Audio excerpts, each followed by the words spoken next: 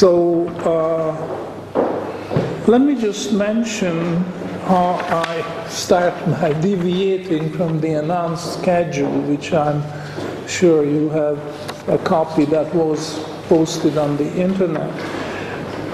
The first lecture, which is now, is going to be changed, and the uh, first and second lecture will be combined and that will be the following lecture starting at 11.30 so that will be a combination of the two announced lectures. Um, i don't envisage further changes. The reason for this change is a rather sad occasion for me. Uh, the day before yesterday i put on the internet a farewell address, which you will all get a copy sometime during the day. But that's my topic now.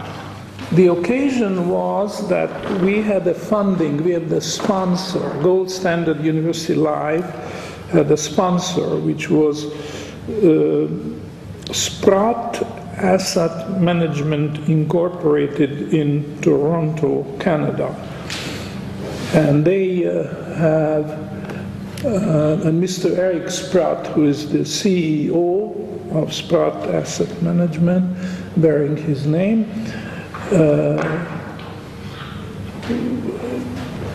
took a personal interest in this. I must say that I did not solicit his sponsorship.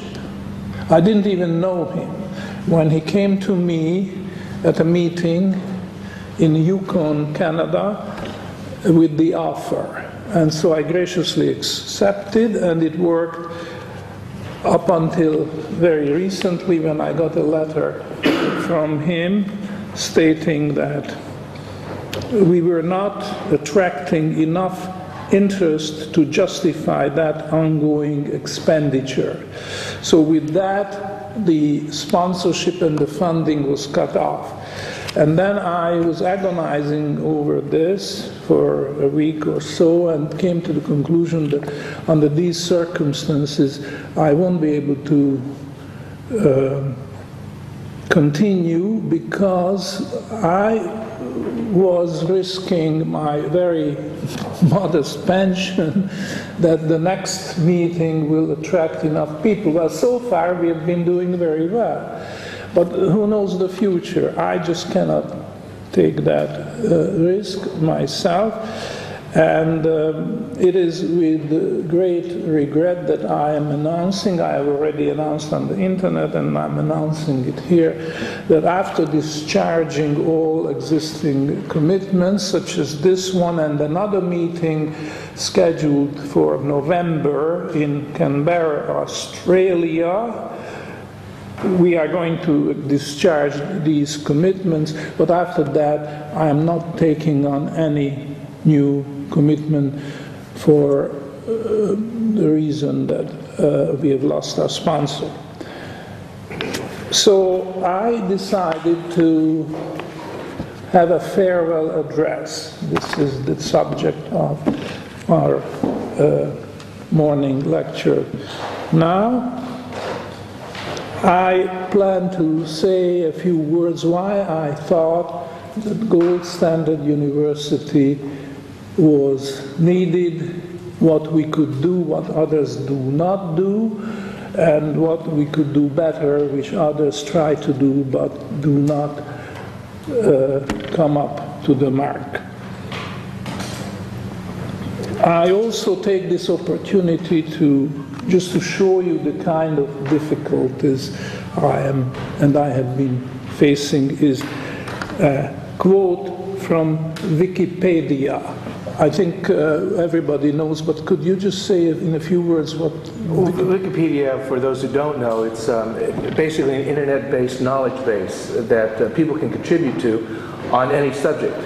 And um, the professor found uh, a reference to him under his name, which was, I mean, uh, obviously wasn't written by anybody in this room. Now, uh, please do not take this as a disparagement of Wikipedia. Wikipedia is a living encyclopedia, which is something unique and something very needed because you buy an encyclopedia, no sooner you uh, take it home, you realize that most of the, a lot of entries are out of date. Now, Wikipedia is out updated almost on a daily basis. And this is a nice thing too that they put a date on it, that this article is updated on such and such a date.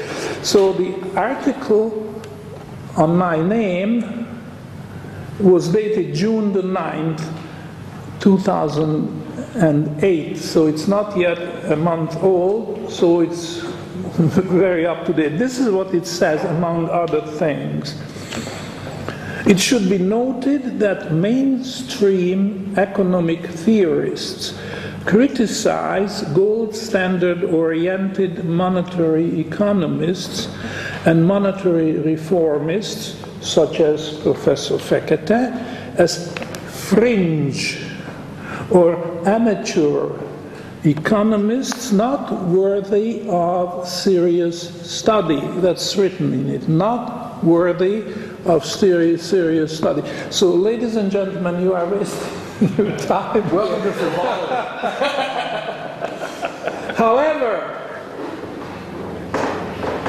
yeah, and it also has that Professor Fekete has never held a teaching position in an economics department of any prominent university.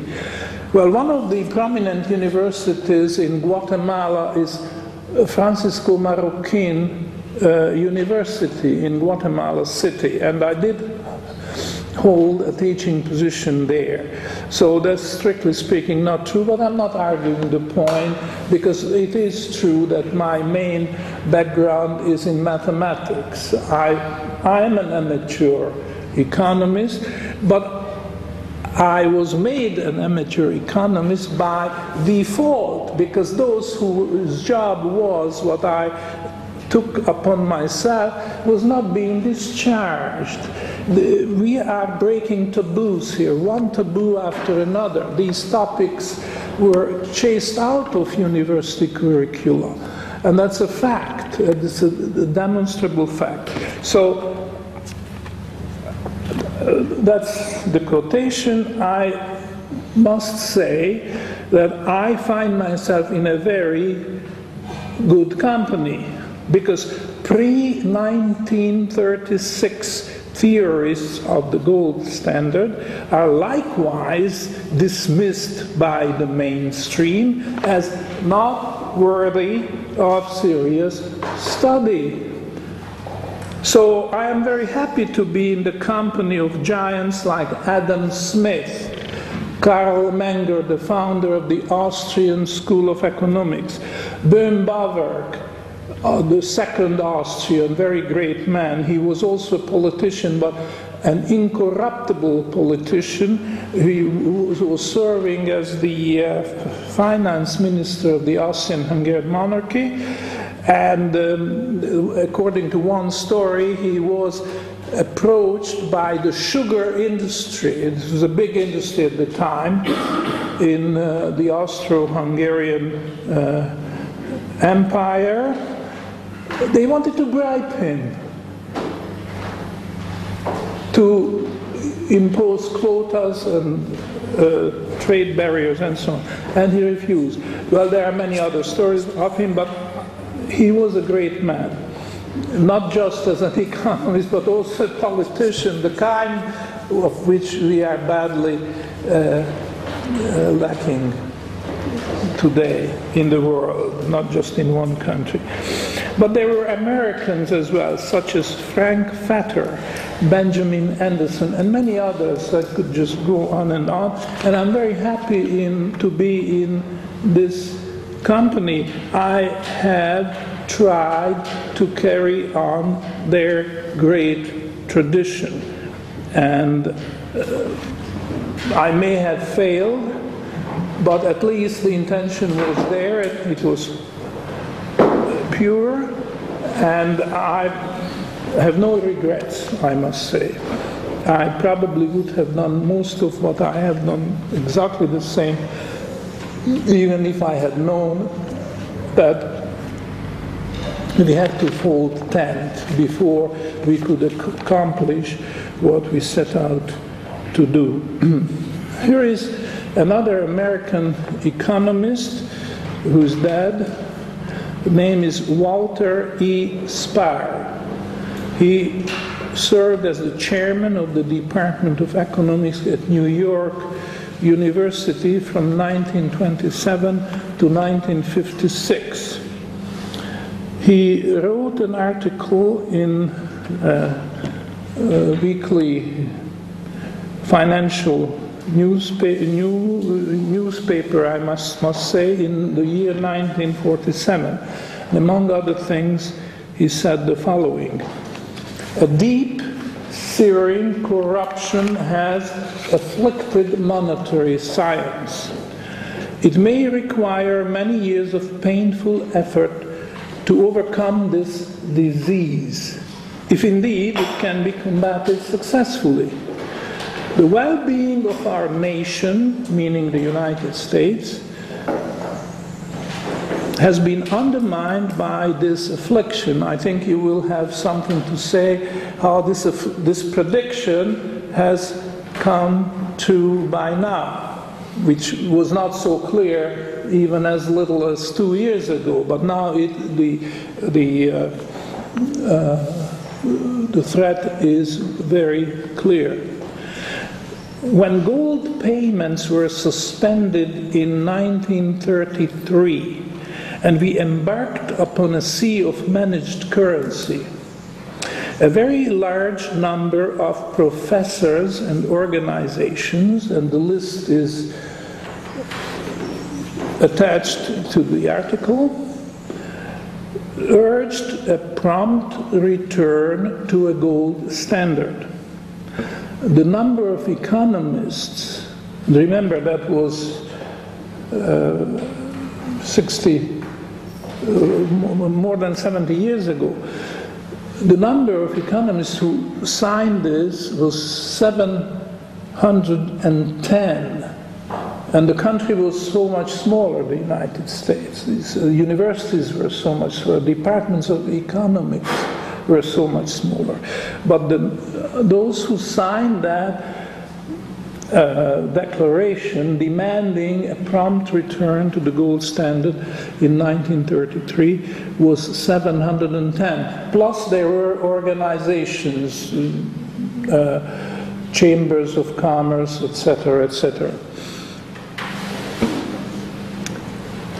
Now, did those 710 economists know so little about monetary principles in 1933 that they could not, a short time later, defend their earlier position?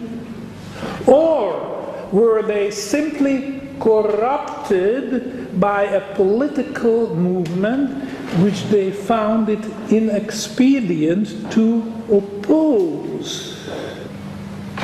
There appears to be no valid defense that can be offered for men who pretend to be scientists but who adjust their so called principles in accordance with changing political tides.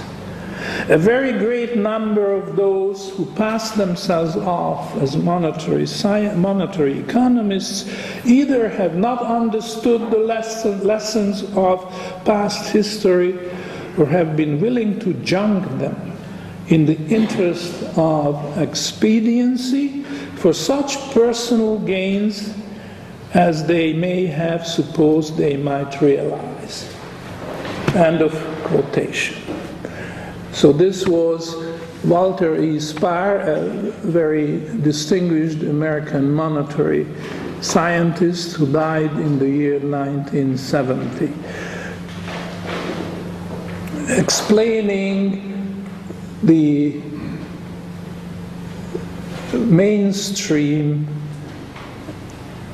economics and its outlook on what we are trying to do. This war, they were paid off. They, they were muzzled either by bribe or by blackmail. And I leave it to you to decide which is worse.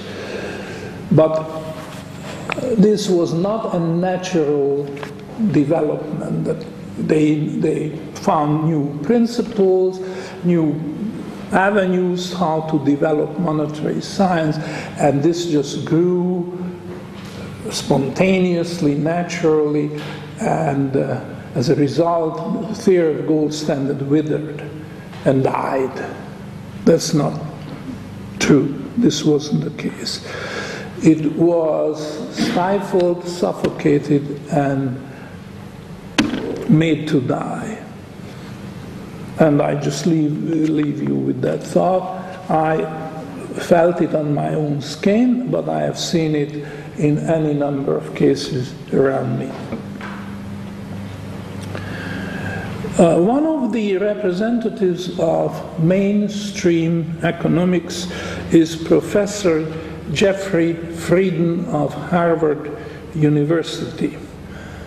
I had a short uh, paper posted on the internet uh, which uh, was titled The Anti Gospel uh, Message of Freedom.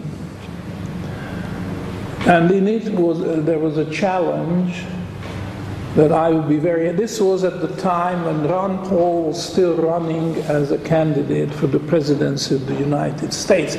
So it seemed to me that this was an appropriate time to issue a challenge, and uh, I picked on Professor Frieden because he just published an anti-gold manifesto at that time, and I challenged him to have a public debate on the merits or demerits of a gold standard. Now, of course, he ignored me, but it so happened that uh, somebody whom I didn't even know, but somebody who knew him, presented a copy of my challenge to Frieden which then he could not very well ignore because he was a colleague. And so, anyhow, he did answer in a personal email to me, and he very haughtily said that there's no point discussing with people who have not read the hundreds or even thousands of articles which have been written on or about the gold standard since 1980, so the past 28 years. Uh, and the suggestion was that I am completely unfamiliar, and he mentioned names as, uh, as uh, Barry Eichengreen and Ben, ben Bernanke, the present uh, uh, chairman of the board of the Federal Reserve System in Washington. And he said there were hundreds of other contributors in between. Now, I felt that I just had to put it in here and put it on the internet, that I am familiar with most of that literature. I just took it upon myself to go through and read it and analyze it and uh, be prepared to have a, participate in a meaningful debate on the various points raised by these articles. Now, I have not been able to find one iota connecting our crisis ridden monetary system with the forcible removal of gold from the international monetary system. Uh, the year is 1933 when Franklin Delano Roosevelt Uh, confiscated the gold of the, I might say unconstitutionally confiscated the gold of the citizens of the United States and put an end to gold payments. the consequences of this momentous decision have never been analyzed in an impartial way. Economists were told that this is taboo, should not be discussed unless you are introducing arguments in favor, favor of it. And there was no discussion. This was just accepted as a fait accompli uh, with no analysis. And this is true to our days. We, I am willing to commit my reputation to that statement that we are among the very few, the gold standard university, very few who are breaking taboos and we go into that question was it necessary? Was the gold standard dying a natural death or was it killed? Was it pushed out of the window? The Czechs have a word for that defenestration because in Czech this is one of the standard way of political uh, assassination to push the unneeded partner off the window so he can plunge to his death. Well, that's exactly what happened to the gold standard. It did not die a natural death, it was pushed, it was defenestrated. It's a nice word. It's a nice, Nice word. word. Now, rather than having a discussion on and a serious analysis what has happened and how it was politically motivated, the gold standard is portrayed by those economists such as Ben Bernanke and Eichengreen and many others. The gold standard is portrayed as an anachronistic monetary regime, the removal of which was highly due, and it was by popular demand.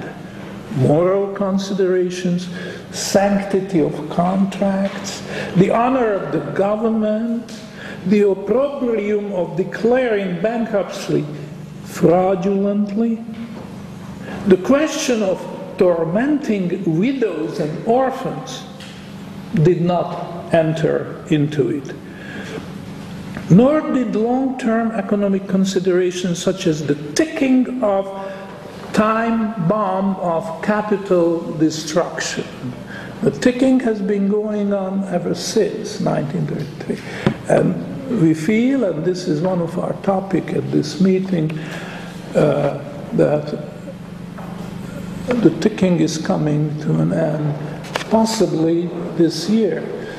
And remember, I'm not brandishing big slogans about hyperinflation or deflation or this or that. I'm just simply saying capital destruction. This is what we have seen in the United States and other countries, but especially in the United States, as once flourishing and very healthy branches of industry, such as TV manufacturing, uh, VCR, and a lot of electronics and so on, have disappeared. Why did they? Don't blame it on, uh, on uh, uh, sweatshops in China or elsewhere in Asia. Don't blame it on them. Blame it on capital destruction. Their capital was dest- destroyed. That's why they went out of business. And the next one, it can be seen, will be the auto industry in the United States. Once an enormously powerful uh, industry, which rivaled in power with the government of the United States, because one of the chairmen of General Motors once said that United States, that's us, that's us, like the Sun King. Yeah. Louis The the state is me, I'm the state. yeah. Le Like, de- what- like what? C'est moi. C'est moi.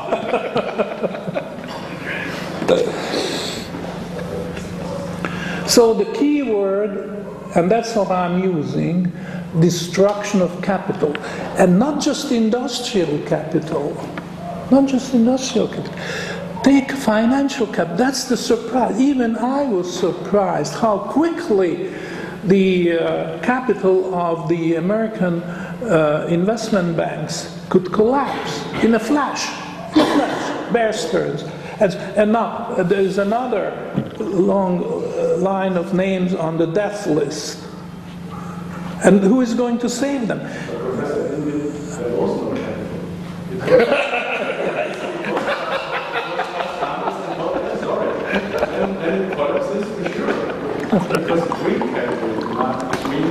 Is something And then it was easy to collapse it into the time, so it's collapse. And there I only note to this because I came across it two weeks ago. So Dr. Benny Stern, who is a very influential member of the Council of Foreign Relations, which is clearly mainstream, he made a speech, I copied it in my internet, I can pass it on, clearly advocating a standard. So it's not just that single, single out. Really not. I was surprised myself that even three other guys. So some very influential but mainstream voices are starting to speak out. True. So I'm going back to this literature which uh, Professor Frieden recommended into my uh, notice that I should uh, should study it. Well, I have studied it, and I can say that the question is never raised how well the gold standard succeeded as the protector of savings and of savers, how well the gold standard succeeded as the instrument of capital accumulation. And above all, the gold standard has succeeded as the stabilizer of the interest rate structure. So much so that there was absolutely zero bond speculation under the gold standard.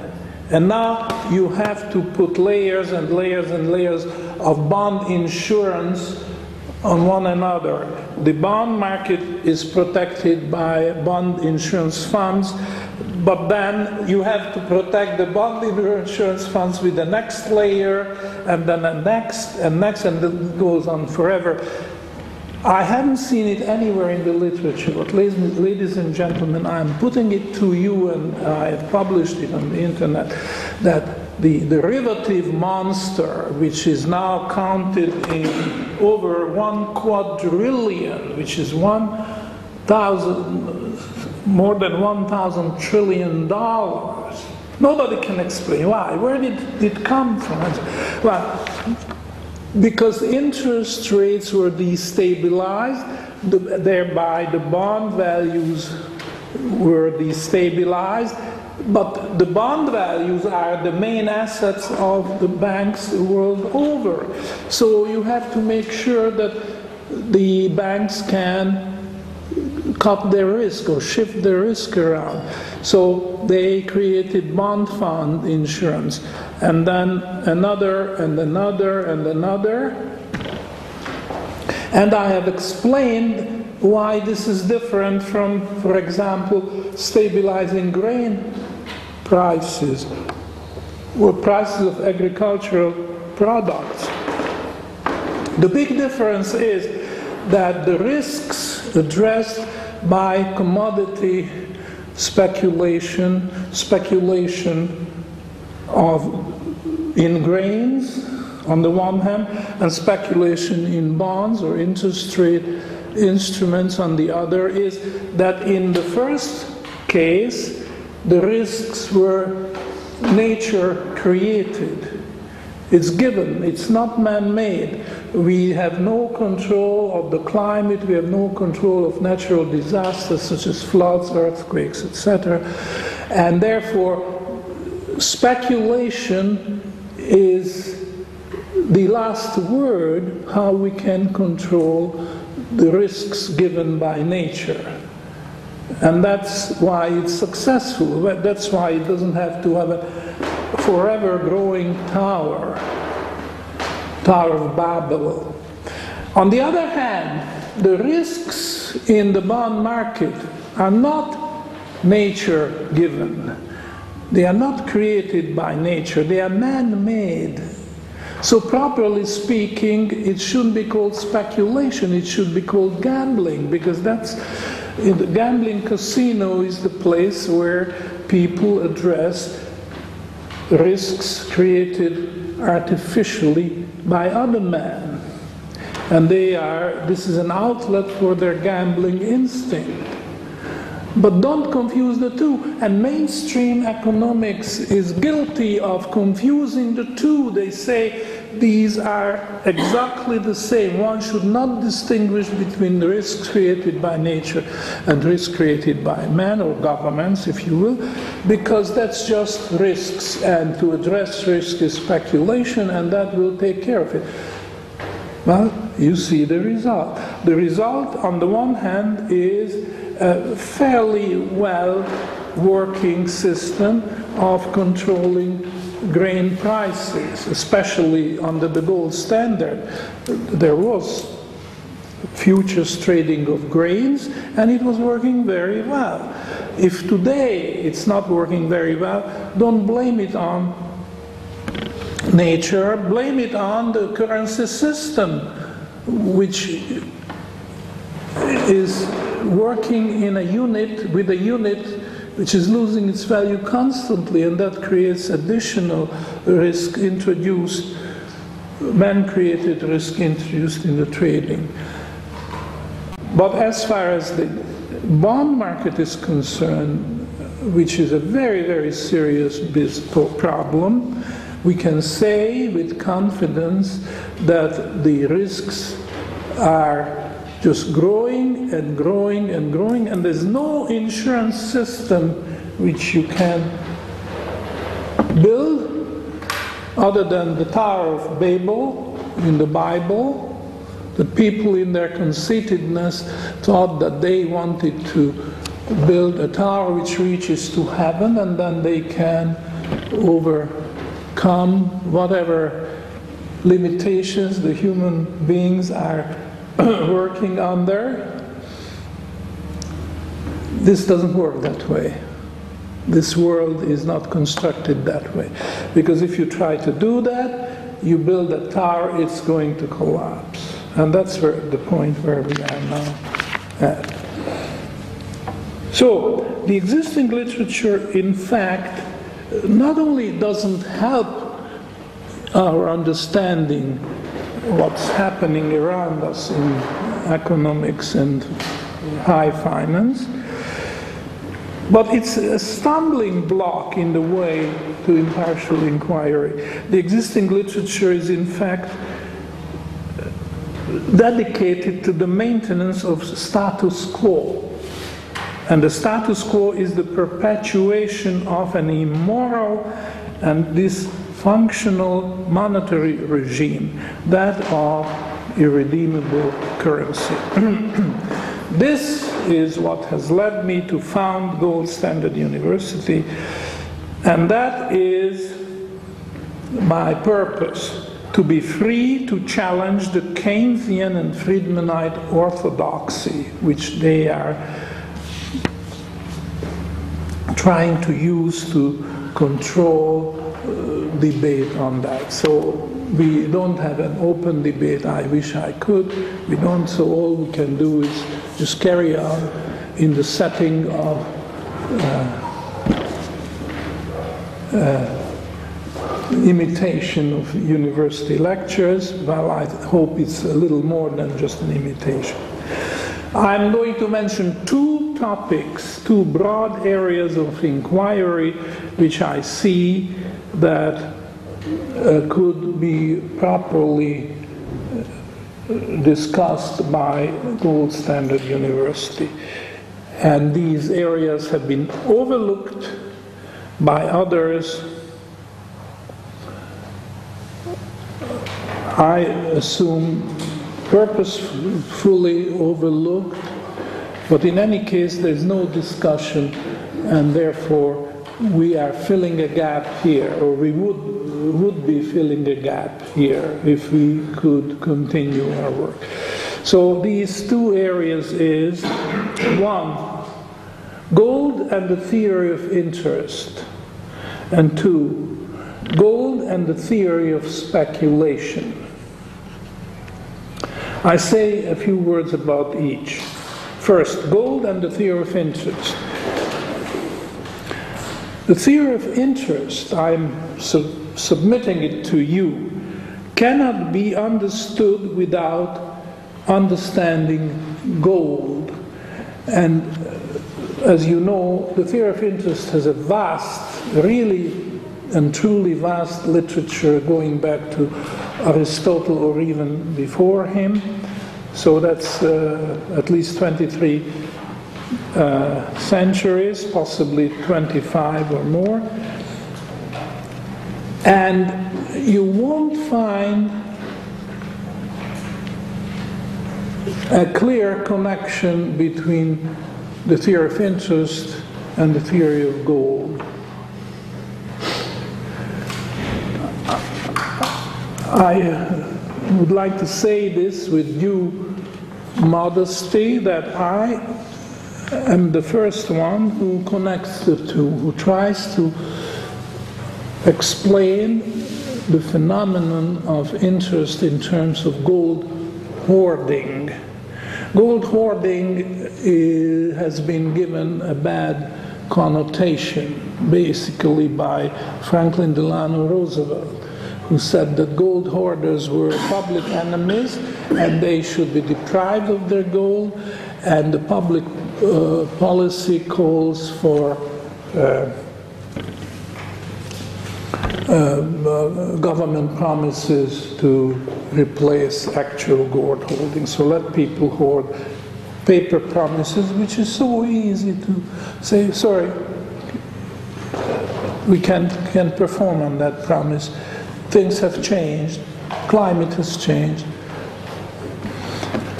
All right, so if you want to study interest, the theory of interest properly, you have to start with studying gold and gold hoarding. So that's the first area.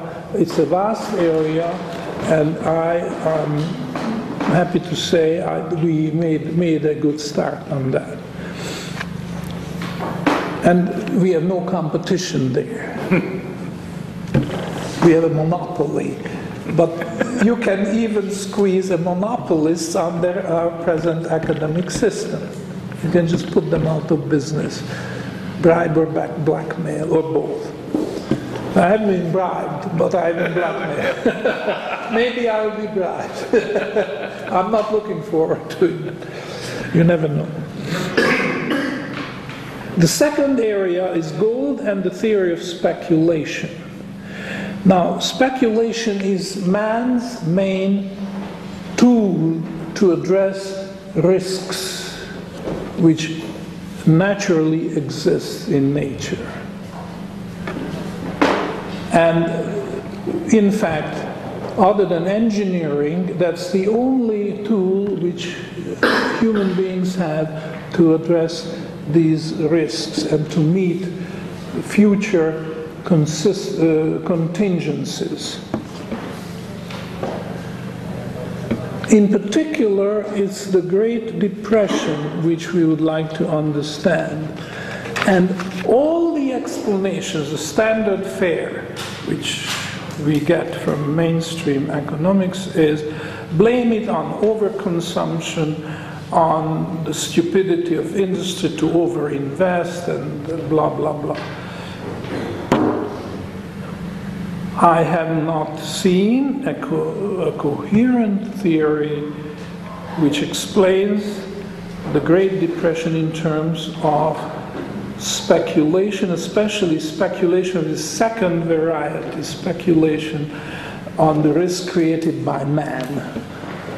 The fact is that the removal of the gold standard has freed up forces, speculative forces, which were very destructive and no limit on the amount of speculation just keeps growing and growing and growing. And even if it grows very very slowly after a certain time it will reach the critical mass and uh, it's anybody's guess when it will explode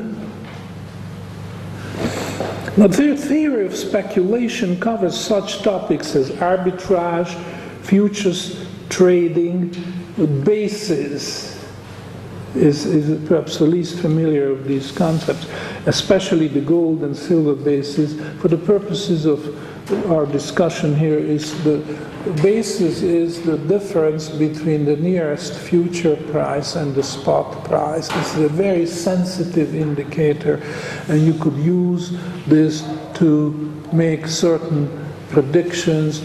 Uh, much more successfully than any predictions on the price using charts or chart analysis. I'm not dismissing that, but I'm just saying that we have a, a more perfect tool to uh, predict future uh, outcome, and this is the basis. And related ideas such as contango, backwardation, short squeeze, and ultimately corner. Now, speculation is virtually ignored by conventional economic theory. I've perused dozens of textbooks and treatises on economic theory, looking up the index at the end of the volume, finding uh, these entries basis, contango, uh, speculation, short corn. And there was hardly anything. If there was something, this was just the barest, not even scratching, scratching the surface. So speculation is virtually ignored by conventional economic theory. The hurly-burly on the floor of the exchanges apparently does not reach the ears of the inhabitants of Ivory Tower. In uh, about 1926, Keynes, John Maynard Keynes, wrote a short pamphlet with the title The Economic Consequences of Mr. Churchill. That's Winston Churchill, who was the the uh, Secretary of the Exchequer and practically the uh, Finance Minister of the of Britain, and one of his uh, more uh, dubious acts was the uh, rehabilitation of the gold standard in Britain in the year 1925, but this was completely mishandled, and Keynes correctly predicted that it will collapse, as it did in 1931, when uh, Britain, as a saying then, went, went off gold, which was defaulted and defaulted fraudulently on its gold uh, commitments. So that was the title Keynes gave to his pamphlet, The Economic Consequences of Mr. Churchill. Now, I would like to write a pamphlet with the title The Economic Consequences of Mr. Keynes. uh, I just give you an, an, outline, I have about 10 more minutes to go. Uh, what would be in that little pamphlet? The economic consequences of Mr. Keynes. Keynes blamed the Great Depression on overproduction, uh, the uh, domino effect of, of uh,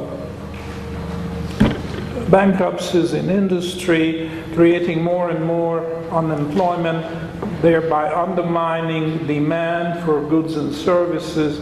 So this was uh, spiral, downward spiral. Once it started, it just continued until the economy fell flat on its face.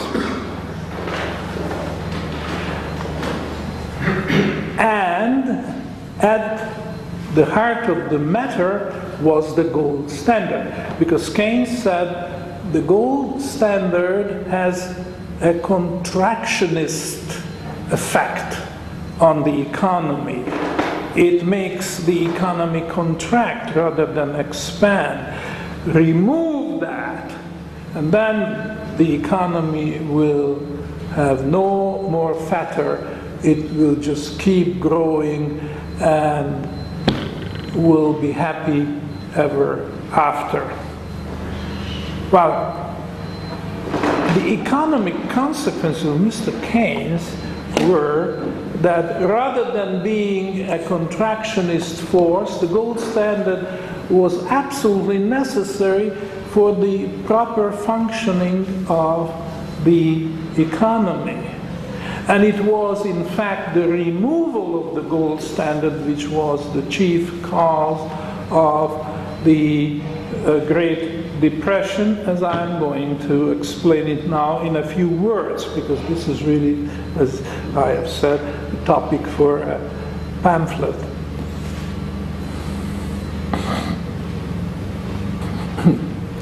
In 1933, the forcible removal of gold sent a message to bond speculators.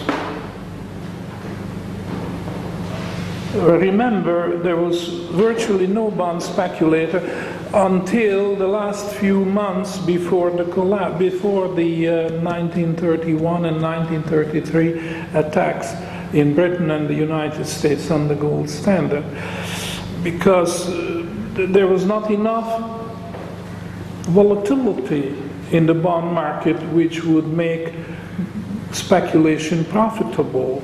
And speculators knew that their, where their bread and butter would come from, would come from volatility. So the message was here is your chance. You never had a chance before to bid bond prices sky high. Here it is now. Take it because gold has been removed. Gold, you should look at gold in this context as the chief competitor to the government bond. The government bond is an instrument for very conservative investors, such as widows and orphans, for example, who are mentioned in the Bible.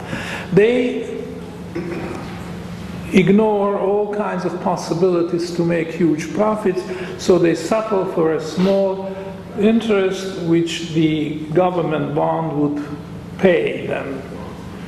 And they have virtually no com- competitor because industrial bonds and other bonds and other, inv- uh, let's not even mention equities, industrial shares and what have you, all pay higher return, but in exchange for much greater risk. However, bonds, government bonds, still do have a competitor, ignored by most observers, and this competitor is gold. Because the most, the very, very most conservative in, investors ignore that pittance which the government pays as interest. They would say, we don't want a return, we just want to be sure that we'll not be cheated, we'll not be victimized by, by uh, uh, fraudulent bankruptcy. So, what happened? In 1931 in Britain, in 1933 in the United States, gold was forcibly removed from the arena as the chief competitor of gold bonds. And the only player in the arena left was the government bond. No competition. No competition. It, they won by default. All the money, all the money of widows, orphans, conservative investors, etc., had to go into government bonds. But the flip side of the price of the government bond, which was then increasing, is the rate of interest, which was decreasing.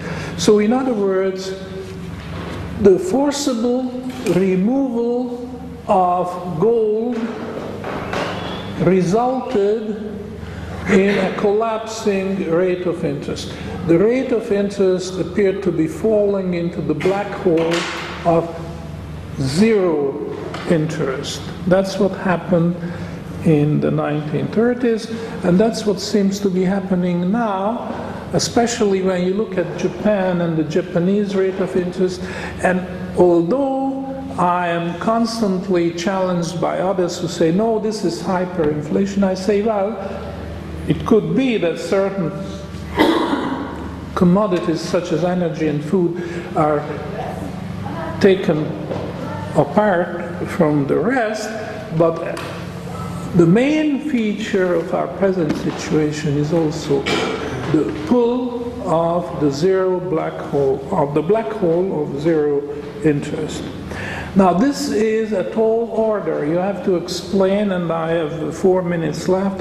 Uh, we can't do justice to this, but I will be happy to take further opportunities during this uh, meeting, uh, during our lecture series, to talk about this how the collapsing interest rate uh, creates depression.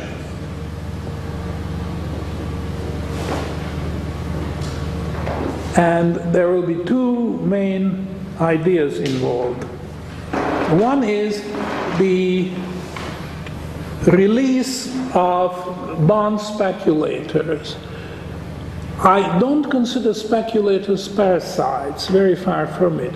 But I just have to make that distinction between risks created by nature and risks created by man. And I don't call those speculators, well, actually, I have to, because that's everybody. We, we wouldn't be able to communicate if I didn't call them bond speculators, but really, they are gamblers. They are part of the casino where bonds are traded, and they are gamblers. It's not the same as speculation.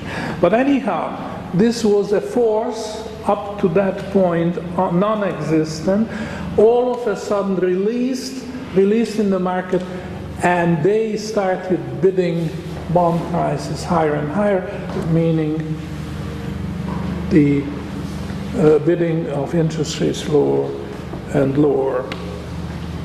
That was one feature.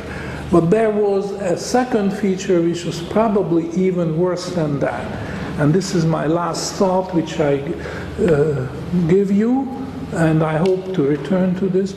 And this is the open market operations of the central banks. This is a catchy phrase. It sounds good. And everybody hears that open market. Well, if it's open, it can be, it can only be good. Because bad things happen when you do things underhandedly.